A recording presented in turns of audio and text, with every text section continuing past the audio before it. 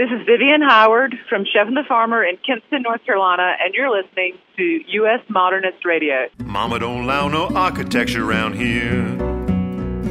Mama don't allow no architecture around here.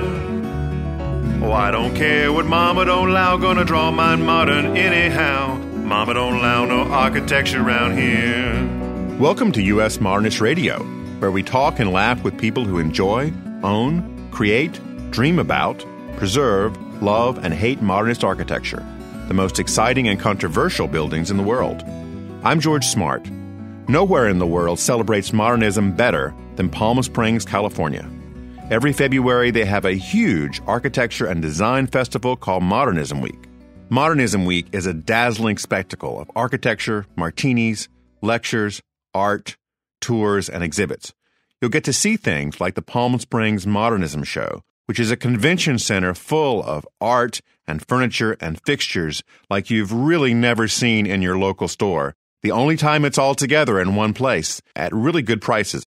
If you're into mid century modern, this is the Olympics of all the architecture we love, an event not to be missed. And we were there at Modernism Week talking with nearly all the keynote speakers, authors, and special guests. I'm Tom Guild. I came along with George to Modernism Week this year, and U.S. Modernist has the best deal if you come on these trips. You get a whole bunch of Uber credit. So you yes. can get a ride to the house you want to see and stay as long as you want, and then get a ride back to the swanky Skylark Hotel. And if you happen to enjoy a lot of martinis or other flammable drinks. You don't have to worry. You don't have to worry because you can always call Uber and be taken safely home to sleep it off. Support for U.S. Modernist Radio comes from Realtor Angela Roehl, your special real estate agent for bringing modernist design expertise to buyers and sellers. Reach Angela at angelaroehl.com. That's R O E H L or 919 995 0550. You want to go with U.S. Modernist to Modernism Week in 2020? Send Mr. Modernism, I mean George, an email at george at usmodernist.org to get more information. Authors Michael Stern and Alan Hess join us poolside at the Swanky Hotel Skylark to discuss their new book, Hollywood Modern Houses of the Stars. The authors uniquely capture the glamour of each star and how it matches the house they chose. From the Johnny Carson house in Malibu to the ultramodern Gary Cooper house in Holmby Hills, these houses curate our brains just like the movies do. Later on, we welcome back our delightful friend, celebrity expert Lindsay Blake, creator of the hugely popular movie location blog, I Am Not a Stalker. Spoiler alert, she is. She is. We're in Palm Springs, and we're here talking today about celebrity and modernism with two gentlemen who have written a new book called Hollywood Modern House of the Stars. Michael Stern and Alan Hess. Welcome, gentlemen. Thank Glad you. to be here. Alan, you have been doing a lot of work lately. In fact, you've done a lot of documentaries. I was watching one the other night, and it started off, and you weren't in it. And I was disappointed, but I was glad to see eventually that you came on the screen. Yes. Yeah. Yeah. I, have, a, I have a good agent who gets me in all of the important, the important architectural movies. documentaries. Yes, yes, and I know the royalties from those things are astronomical. Oh, they're fantastic. he lives large, trust me. Alan's private chopper is parked here on the roof. yes. How did you guys come together to start this book? Because it's an amazing book and it's got great stories I think people will love. Well, I've got to say that Michael really kind of brought me in several years ago now on another project about Julius Shulman's photographs of Palm Springs, and he was kind enough to ask me to be part of that uh, exhibit and then the book we did. And the film. And the film. Yeah. The book got started how, Michael? I mean, it's a natural thing to write. The Hollywood Modern Book? Yeah. Well, my, as I said, my goal in the realm of architecture is all about accessibility. And so we're basically using the celebrity angle as a portal to turn people onto modern architecture who might not otherwise be interested in it. So it's like, you know, people have a natural interest in celebrity. I mean, it's almost organic in America. And we just thought, well, this could be a great way. And all of the projects are a very high caliber modern architecture. This is not an architectural digest book where it's just a reference photo of the star and every interior designer and every company that's ever worked on that house. This is all about architecture, basically, but it's loaded with celebrity images. We have like the very formal portraits of the stars, as well as informal photographs of them just hanging out at the house. So we basically are kind of looking into the public persona, which we have the glam Hollywood photos, and actually the private lives of how these people, in fact, really live, which was very different from their public personas. These celebrity photos are really interesting. I saw in your presentation the other night the ones that you had where you've almost stylized them to match their house. Well, it's like it was very important. Like, you know, we were focusing on the idea of glamour and what celebrities brought to the architectural table. And so we always included the glam shot of the celebrity as well as the glam shot of the house. And they're both an ideal. It's, it's all about like Hollywood fiction in essence. Like, people don't look the way they do in their heavily airbrushed or now photoshopped images, and they don't live the way they do in the pages of Architectural Digest, where everything is perfectly in place. There's not a thing out of place, and it's just like a perfect place.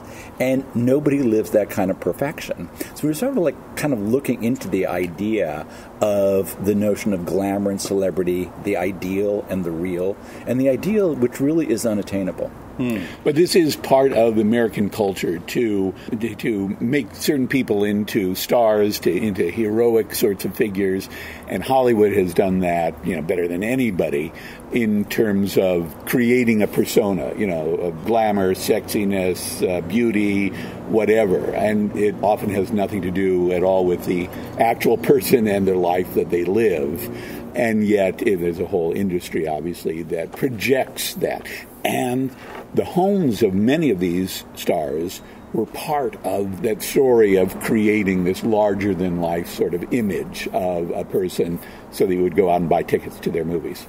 So I understand this is not entirely random, that there was some sort of studio rule about where people had to live early on? Well, there was a rule about Palm Springs specifically, and about a third of the houses in the book are in Palm Springs because, being the capital of mid century modern, needless to say, we wanted to mine those wonderful houses.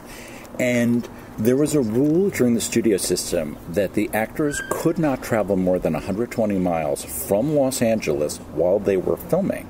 Palm Springs is in that 120 mile radius and obviously has a very different kind of energy than Los Angeles does. There was another rule that was enforced by the studios that stated photographers could not photograph the stars in Palm Springs without their consent.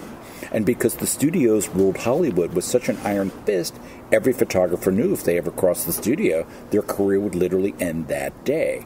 So everyone kowtowed to the rule, and that gave the stars the ability to, like, have affairs and get really plastered. They're the ones that turned Palm Springs into a party town. Initially, it was settled as a tuberculosis sanitarium. Okay. When did the studio system break down, and I guess the growth of the paparazzi came along with that ending? It's a First Amendment thing now, and it's really unfortunate what celebrity, the price you have to be to be a celebrity in America is an aggressive, aggressive lack of privacy. I think television is actually what really diluted the power of the studios. They no longer had that singular clutch on their actors, and people weren't contract players anymore. They were going more independent. So the studio system, their power just dissipated, and that was the only thing that was enforcing that rule. And like the proof is really in the pudding. You don't see a photograph of Lucille Ball with like half a glass of whiskey and a ciggy in her hand. You'll see her on Palm Canyon Drive. She's all done up. She's got the white gloves on, etc. So they're mayor that Palm Springs represented a kind of freedom they were not afforded anywhere else. Give us an example of, of some of the houses that you highlighted. I see on the, the cover you've got Frank Sinatra's house, which is in a neighborhood now called Twin Palms. No, no, is, it's not a neighborhood. The house itself is called Twin Palms, not to be confused with the completely discrete neighborhood of Twin Palms. Okay. I thought they were the same thing. It's completely confusing. And Twin Palms was named before the neighborhood was, the house, Sinatra's house. Okay. And Sinatra's house, I think from one of your slides, was all by itself. Absolutely. It was alone in the desert. And what's kind of interesting is, like, Frank wanted to be by himself. There's a neighborhood called the Movie Colony that was very, very celebrity heavy. He did not want to live in the movie colony, want to live out by himself in the desert. Apparently, he was like a total freak for Jack Daniels. He's actually buried in the next town with a bottle of Jack Daniels. there used to be a flagpole on his property, and what he would do is he would raise the Jack Daniels flag. His friends in the movie colony would see it and know that there was a party at Sinatra's house. That's a great signal. I, it's sort of an early form of texting. Yes. huh. I guess that also the topography around here lends itself to that because you get a flag up high enough, everybody can see it. Absolutely. You know, in Palm Springs, there's a zoning ordinance in the residential neighborhoods. You cannot put more than one story. Oh, which Oh, really? is absolutely brilliant. Nobody's view of the mountains get blocked, and more importantly, no one can see into your backyard, so you always have total privacy. And in Palm Springs, virtually every house has a pool, so people like to do nude swimming, and they're afforded that opportunity because of the privacy factor. Until Modernism Week when the double decker buses come. It depends on who you are and how you look. You know, the uh, Frank Sinatra house is one example, really, of the power of modernism from the very beginning here in Palm Springs. Because Frank originally went into the office of a local architect, E. Stewart Williams, who, you know, was not known beyond the boundaries of Palm Springs at that time, and asked for a colonial style house. And E. Stewart Williams, you know, good modernist that he was, stood up and said, no, Frank Sinatra, I won't give you a colonial house. I will give you a modern house. And Frank went with it, and uh, and, and you know the result, of course, is a just a beautiful example of Palm Springs mid-century modern architecture.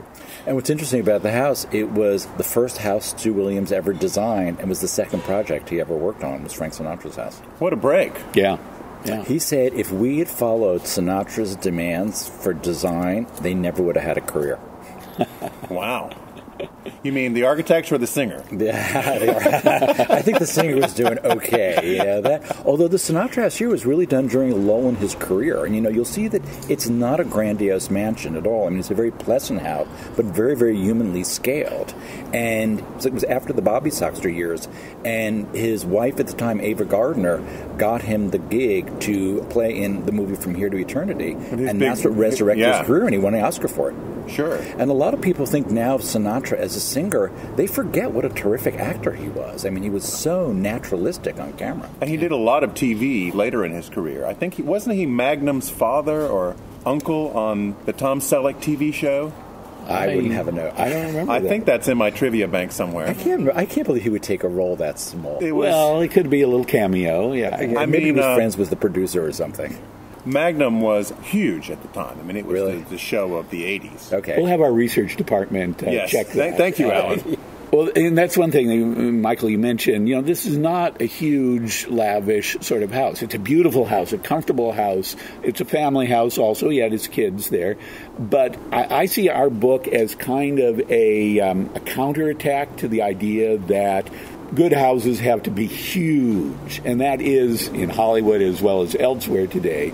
You need to have this huge house with a million rooms in order to have good architecture and usually it isn't good architecture. Here are a collection of houses, very luxurious, expensive houses, good designers, but they aren't, except for the Bob Hope House, they aren't enormous. And you don't need to have huge acreage inside your house in order to have good architecture. Right. I remember one of you talking about how Mrs. Hope wanted a house that would have dinner for 500.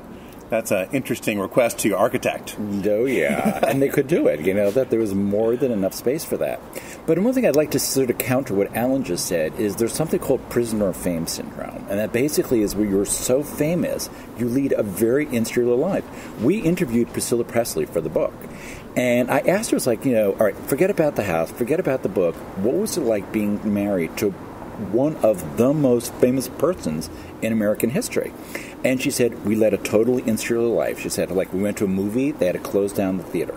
So they basically he had his Memphis mob, his friends, always surrounding him in that little intimate circle. And she said it was very, it was very insular. So sometimes, a la the Johnny Carson house, which you were speaking about yesterday, which is a very large house. Sometimes they're relegated to their house, basically, where they're just, you know, now the paparazzi are so aggressive that It's the Fortress of Solitude Superman model. Yeah. Exactly. It really, Yeah. In a sense, it is. I think Carson is a really good example of And that. You know in that? many ways, they're forced into that because of the openness of, uh, of the media today. Absolutely. It's, it's it's heinous, really. I mean, I, I have some friends of mine that are pretty big celebrities, And the paparazzi will literally tap their car on the freeway with their kids in the car to get a reaction. And Like, the- tap like on the bumper? yeah, Tap 'em? absolutely. Just give the car a little tap or make them do something to just get a little reaction out of them. Hmm. And That sounds like the Princess Diana chase. yeah, well, that, that is the epitome of what these aggressive paparazzi are willing to. That's the distance they're willing to go, and it's a hideous invasion of privacy. I mean, when we would, I was doing the research to locate the books. There are websites that you can go to that's Google Maps, and when you hover over Tom Cruise's house, it pops up, which is just an utter invasion of these people's privacy. You know that they need to be left alone. And Michael, when you're not writing books, you're giving tours in the area. Yes. Tell us about do- those. Uh, we do architectural tours of Palm Springs, and on all of our tours, we go inside houses. So it's not just driving around, but people get to actually experience what it's like to live in Palm Springs. And typically in Palm Springs, I call architecture here discreet to the street. The street presence is understated, deferring to the mountain views, so very often there's a certain opacity that you just, you know, the Kaufmann House, great reveal. A. Quincy Jones house, the Ocean's Eleven house, as it's called. One of my favorite houses in Palm Springs. Barely see a thing. It's just a couple of panes of frosted glass. So my goal was to actually get sort of behind the gates. And when I first started doing it, I have a lot of friends who live in beautiful houses, you know, as is the case here. And at first, I was like, you know, you mind if I show your house? These people, they're really interested. And then I started feeling guilty. The business became so successful, I became really guilty about asking them again and again. So I said, Would it be okay if I pay you? And at first they said no, and then they said yes. But what's great about it is the money that they make from the tours often goes right back into the house again. So it's kind of like a perfect preservation circle. Yeah, because even if you're a fairly affluent person, which you would have to be to own some of these houses, Mm-hmm. the upkeep on these things is not trivial. Absolutely, and we get access to people who they really don't need the money, but you're so used to spending money on your house, just psychologically having a flow of income is really gratifying. I'm sure. And we did want to emphasize that aspect of preservation of these houses. So most of the houses in the book are from the past, from the 1920s right up until you know the present day. But we included a couple of houses where uh, movie industry people have bought older houses, distinguished architecturally, and restored them at great expense as well, because that is the trend today. Instead of just building, you know, a huge brand new mansion or something, these stars, including Brian Lords and uh, Kelly Lynch and Mitch Glazer, found older houses that needed that care and restored them. And they're, you know, they're both very much Hollywood style. They're very glamorous houses once they were brought back to their original condition. And as Kelly mentioned in the panel yesterday, like once you, you live in a John Lautner, once you make a modification to that, a major modification, the value of the house goes down significantly. Yeah. Yeah, if it's not a really good modification. I mean, if you've Yeah. just Yeah. gotten your brother Earl to come in and throw something up in the kitchen, it's not going to work out well for As you. I can say, I've seen things. That's all I'm going to say. Yeah, yeah. we both have. We, I think we all have. You know. we have all seen things. Yes. In Hollywood, there's something called the EGOT, right? The Emmy, Grammy, Oscar, Tony, mm-hmm. right? Absolutely. And Alan Hess is basically the EGOT of Palm Springs modernism. Make that Southern California modernism. It's Uh-huh. not just Palm Springs with Alan, and not to mm-hmm. mention his many wonderful books on Frank Lloyd Wright. Well, let's just make it all of California, shall we? Ah, okay. yes. Okay. the entire state. Because, Absolutely. Because Alan, just during this week, where typically a major speaker comes in and gives one, maybe two presentations, Alan, I think we counted six. Yes. That you're scheduled for. Panels and talks. Panels and talks, Yeah. including one that just happened spontaneously yesterday at the Neutra movie. Was it spontaneous? They were Yes, it completely was spontaneous. Completely spontaneous. where he's just like, Alan, would you like to moderate? And what is it? When I was I was there yesterday, and I was thinking like, give the mic to Alan. You know that he'll know what to do in this situation. Yeah. and he did a really good job too, by the way. oh yeah, he just uh, picked it up and, and ran with it. Well, I always say, you know, uh, it's because of the material. Uh, the, houses, the buildings that we're talking about are just so tremendous and exciting, and the people that created them have so interesting stories or interesting artists. So it's easy to be interested and you know ask questions about any of this stuff. Well, you are the Wink Martindale of modernism. to pull up a mid-century reference. You never, you never heard that one before. no, uh, that one's new, George. Possibly never will again. Let's stay with Samuel L. Jackson. Yeah. Okay. One thing I'd also like to say about Alan, though, is he is so multi-talented. You know that, and not only is he a wonderful writer, and trust me, Alan has edited my introductory essays to both of these books. And if you ever want to learn how to write about architecture, have Alan Hess edit one of your essays. The first essay I sent to him, I typed it out. There was more red on the page than there was black and white print of Alan's revisions, and about 90% of them were huge improvements. And one thing that Alan has that's another one of his great gifts is his ability to speak and tell a story. You know that a lot of people in broadcast television will cadence things in a certain manner to make their words digestible. They'll break up the sentences, put emphasis here in different places, and Alan is just terrifically gifted in that. So not only is he a wonderful storyteller, he has the technical ability to project. I mean, I would kill to have Alan's voice. Do you know that? yes, me too. I mean, he like gets it out there. He doesn't need a microphone. Me, it's like amp it up.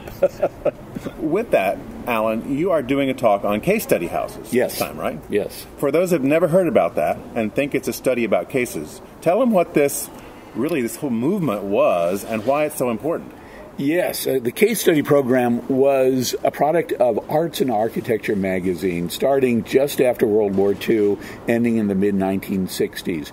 And the editor of Arts and Architecture, John Entenza, brilliant person, brilliant editor, knew all of the great modern architects of Los Angeles and promoted them in this magazine. And this magazine was it was was usually a very thin magazine, but it was known internationally in England, especially the the young Norman Foster, the young Richard Rogers, people like that would go to their Arts and Architecture magazine because they knew they were going to see the newest, freshest, uh, most exciting modern ideas in architecture.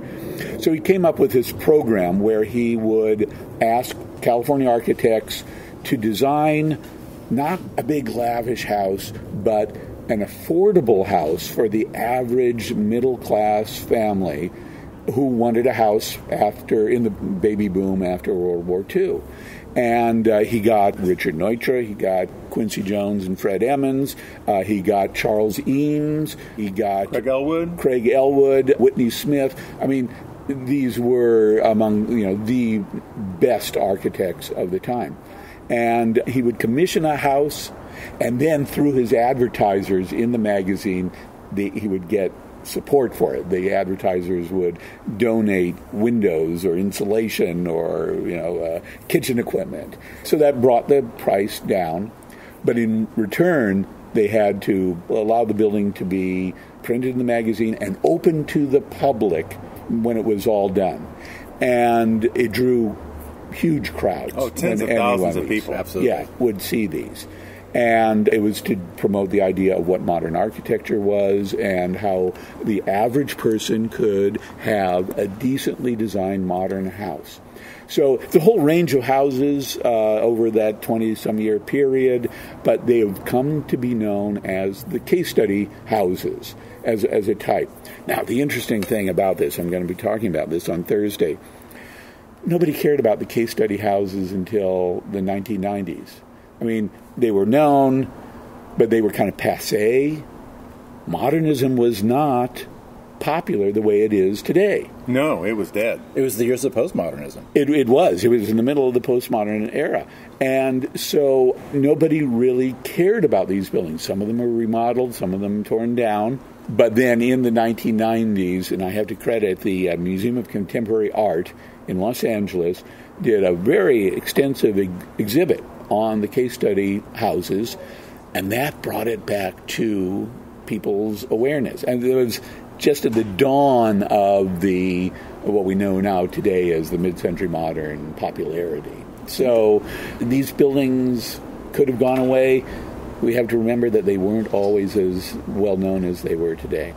And they are exceptionally well known. There's a couple of books, but there's one very large, well known coffee table book that if you're listening and you're not a fan of modernism, but your spouse or partner is, you should buy them this book for the next holiday because everybody wants this book. I mean, it's just the ultimate kind of coffee table book, besides the one that we're talking about. Thank you. Which is Hollywood Modern Houses of the Stars. So, gentlemen, thanks so much for joining me today. I really It was a appreciate pleasure, chatting with know you. that. Thank you, George. Stay with us. George will be right back after a brief martini on the rocks. There's more to come from Palm Springs Modernism Week.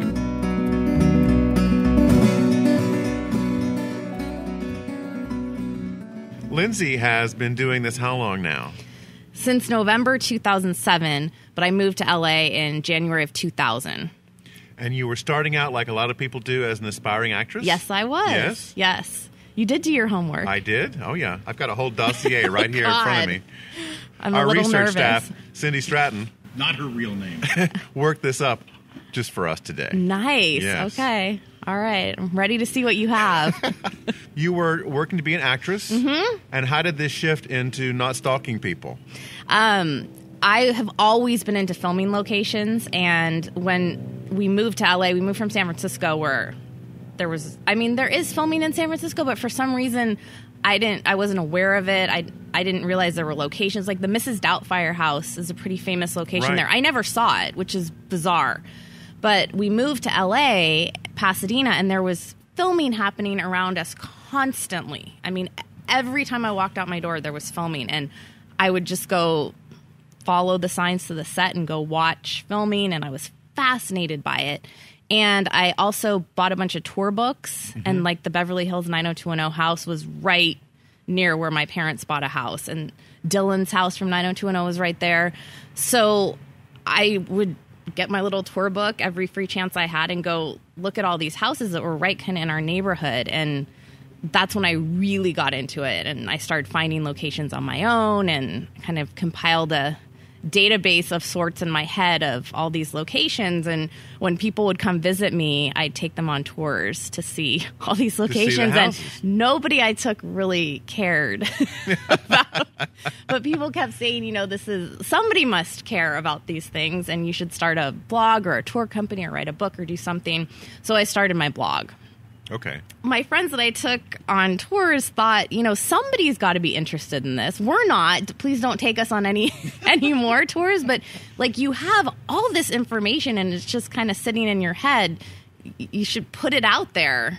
And and it turns out there were other like minded people. Yeah, Lots it was. people. That was very therapeutic for me because I thought I was this weirdo. Yeah, yeah. So made a lot of good friends through my site too. When I looked on your site the first time, a year ago, I guess I just didn't hit the mother load because eventually I found this photo gallery. Oh my And I celebrity started- photo booth. Yeah. And I started to scroll. And I scrolled and I scrolled. And I, I scrolled, I don't know how long I scrolled, but it just went on and on and on. There are hundreds, maybe thousands of photos of you with various celebrities at different places. It's Yeah. incredible. That- yeah, that's a lot due to when I lived in Pasadena, me just going out to film sets because most of the crews are super friendly and they let you hang out and watch. You can take pictures with the stars. So that's how I met a lot of the celebrities. But then also, I randomly encountered um, a blogger named Pinky Lovejoy, and she is way into getting photographed. That's her main thing. That's what her blog is geared toward. And she started inviting me. She has all the intel on celebrity events. So she started inviting me, and that's when I got tons of photographs. I mean, my my photo gallery was pretty small in the early days, and then I met her, and and she wound up married to a celebrity, uh, Keith Coogan from Don't Tell Mom the Babysitter's Dead. He's Okay. Jackie Coogan's grandson, Oh, okay. and Yeah. Jackie Coogan had a house Addams right family. down the street. Yes, exactly. Yep. And she met him at a autograph show, a celebrity autograph show, and got a paid to get a picture with him, and now they're married. What do So, you know? I know, right? Dreams do come I true. know. it's a pretty crazy story. But yeah, all my most of my pictures are thanks to her. I think the last Pinky I ran into was Pinky Tuscadero, who was Fonzie's girlfriend Yeah, on Happy. Days. She loves Happy Days, so that might be where she got the idea for the name. the- the pinky? Yeah. Yeah. She loves pink too, so Okay. so yeah. So, Sorry. who are some of the celebrities you've met? Oh my god. Just pick the first 50 Michael or so. Bublé Uh-huh. is one of my favorites. Pick the first 50 or so. Uh, Mark Wahlberg, Bradley Cooper. Uh-huh. He's really nice guy. Emma Stone. I'm trying to think of some of my favorites. Shannen Doherty. All the 90210 cast I have photos with. The, the main group of them, the, the original eight. I have photos with them. And are they coming back? I keep hearing rumor that they're they are, they aren't. What's the story? I wish I knew. From what I've heard, I think six of them are coming back, and Shannen is not. And she was my favorite. I was Team Brenda. So I don't know that I'll be watching. But what I heard Now, is for those of you in the audience who are young, and only thing you remember last was Twilight when they Oh, had God. teams.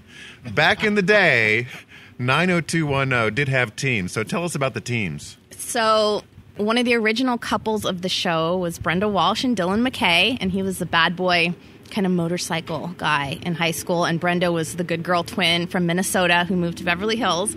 And Brenda went away one summer to Paris to study, and her best friend Kelly Taylor swooped in and stole Dylan from her.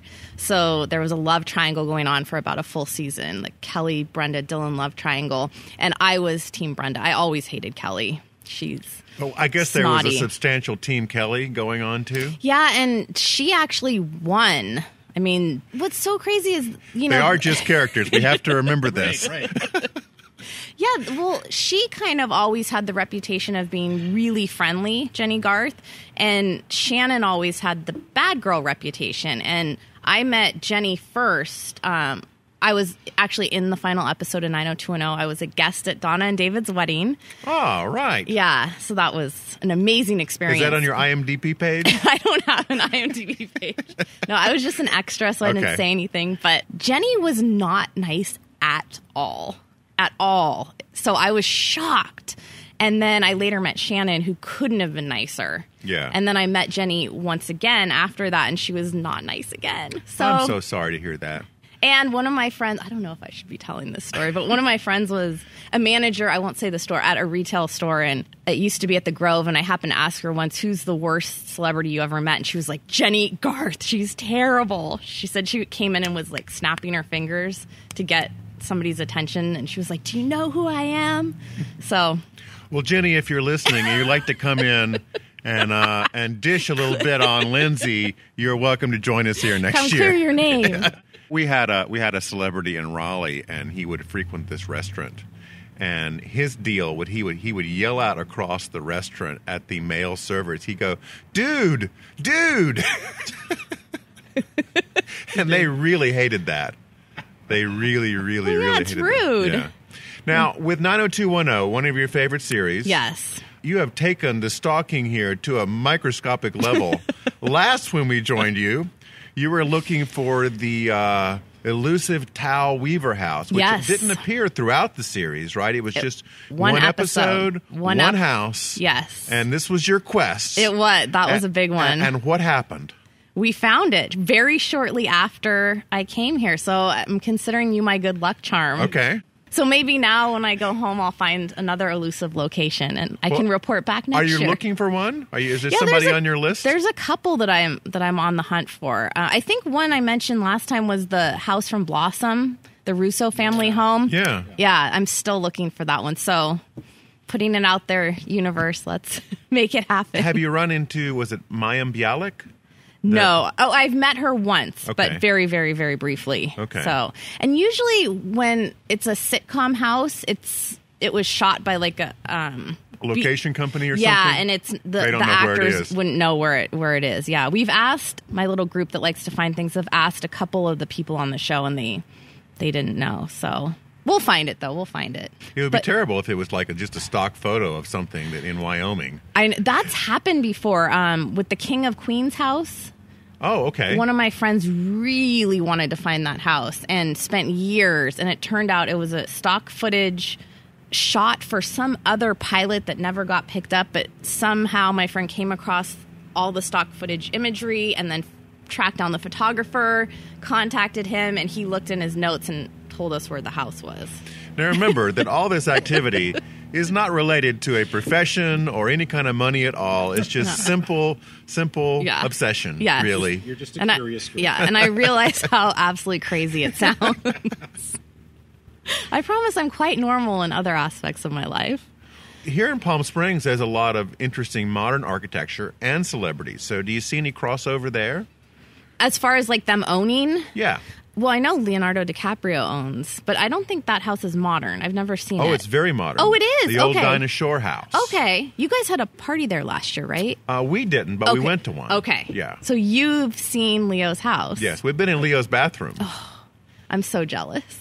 I we have a great him. picture of our tour manager, Angela Roehl, standing glamorously inside the shower, I think, of Leonardo's bathroom. Oh, I'm But, so jealous. But evidently, he's not around much here. No. It's just an investment for him. Yeah, I think he has been a couple times, but I'm not entirely sure. I've never seen him. I actually had a cardboard cutout of Leo, my graduation from oh, college party. I know that, God, I'm really making myself sound bad. My dad made it for me. We had my college graduation party was Hollywood themed. We had like a red carpet outside and we made stars for the sidewalk outside the Walk of the Stars. Paparazzi? No, that was the one thing I didn't even think about that, but that would have been great to hire people to take our picture out front. But um, And we had push you around a little bit because, you know, yell get in things your way. at us. Are you pregnant? Are you pregnant? You getting married? that would have been great. Next time. Next Is time. that your baby bump? or are you just fat? Maybe I, that's not a great idea. I mean, they do say awful oh, they things say to these awful, things. Awful. Yeah. yeah. I once saw them uh, yell to Jennifer Aniston. They called her the c word. Really? Yes, they just want a reaction of some sort. Yeah, they can be vicious. Yeah. We were talking earlier today about the fact that the studio system, which used to really own all the celebrities, could control where they lived. And Palm Springs developed in part for the celebrities because the studio said you could not live more than 120 miles outside of LA. Well, when the studio system broke down and decentralized, and stars could work for anywhere that they wanted to, you had the rise of the paparazzi. Because previous to that, the studios controlled the media. Yes. If they didn't want you to photograph something and you did anyway, that was the end of your career as a photographer or celebrity reporter. When the studio system broke down, it was a free market. That's so crazy to think about how different it was. And just that one switch, the breakdown of the studio system, changed everything. Free market, independent actors and actresses, independent media, you know, to the point now where there's this I don't know what the figures are, but we have this giant industry of paparazzi. You know, kind of headed up the top by TMZ, who has their noon show. Right. And I wanted to ask you about that because, you know, that is an incredible TV production they do every weekday. Do you ever Yeah. get any clues off of that? Like, uh, hey, here's a location, I should just run and find it? Because where do you get your clues from? I don't really watch TMZ, but I do sometimes use paparazzi photos because they'll a lot of the time know about a film shoot or follow the signs like I used to do. And so they'll go take pictures of the actors, you know, walking from their trailer to the set. And so, like, one of the places I'm trying to find right now is a coffee shop from He's Just Not That Into You. Mm-hmm. a movie with Jennifer Aniston. Speaking Yeah. of, so I just go Google search the actress in the scene I'm looking for is Natasha Leggero. She's a comedian. Oh, yeah, she's great. She's awesome and she's hilarious in this scene. And so I was Googling, you know, trying to find paparazzi photos possibly of her filming that movie, and I can't find any, but I will use the photos they take a lot to try to find a street sign in the background or maybe a house number that shows something about where they're filming that will guide me to track it down. For our modernist fans who are um, always out and about looking for houses, what are the good ground rules of stalking? What are the do's and don'ts of trying to find something you really want to see? never trespass.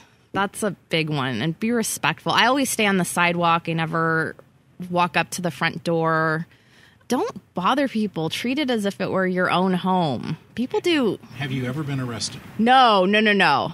I'm very um anal. I follow the rules. It drives my husband crazy. Like I don't break any rules at all. I mean, there's a sign up that says cell phones off, oh, I'm getting my purse and turn the cell phone off. That's just how I am.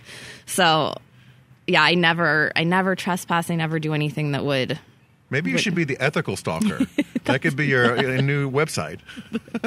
The nice stalker, the rule follower, the Rule following Yeah. stalker. So being respectful. What else? Anything else? I mean, you can take pictures as long as you're on public property, but don't ever crush that threshold and don't take stuff. I know um, the Thriller House in downtown LA and Carroll Avenue, people go and take stuff from the house. Like they'll take a shingle off the roof or the, like the side. And it, I mean, it's straight up stealing and defacing somebody's property. So don't do that. I mean, it should be obvious, but I guess it's not. And the American Horror Story house, I didn't watch that show, but the first season had like a haunted house. People were climbing up onto the windowsill because I guess some scene took place on a windowsill. Hmm. Doing awful things like that. I know the house, the Breaking Bad house, people throw pizzas on the roof. I've read about that. Yeah. Yes. I mean, it's I, I never do anything like that.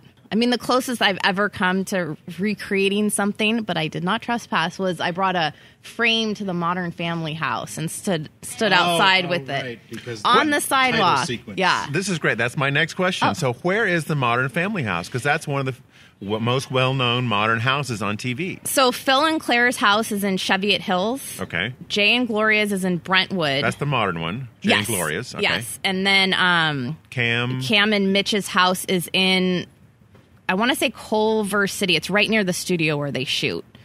I'm not sure what neighborhood it's in. That's a great house. That's actually a duplex. Well, it is on the show too, or uh, Upstairs, yeah, downstairs. exactly. Yeah, yeah. But they run out the upstairs. But yeah, those houses are great. Do you know, are they like just professional houses for filming or people live there? No, people live there, and the Claire and Phil's house recently sold, and it was very much marketed when it was on the market as the Modern Family house. yeah. Do you know how much it went for? I want to say 2 million. I could be off on that. It was well over a million. So the pilot episode typically with the TV show, they shoot in the actual house and then the set will then be modeled after that interior. But a lot of times like the pilot of Modern Family, Claire and Phil had a different house for the interior. So I, I'm not sure where that was shot, but the interior of the house that just sold looks nothing like the set.